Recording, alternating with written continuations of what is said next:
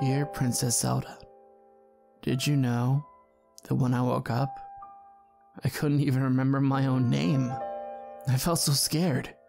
So many names in existence, and only one is right.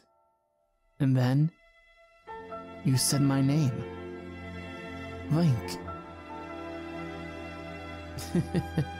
I would have called myself Mr. McCoolman otherwise.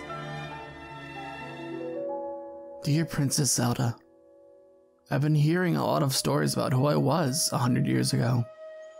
A brave swordsman, a royal knight, the princess's bodyguard, the silent, stoic, perfect Hylian champion.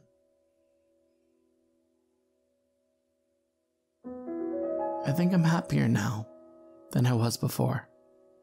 Who knew it'd take the end of the world to make me happy?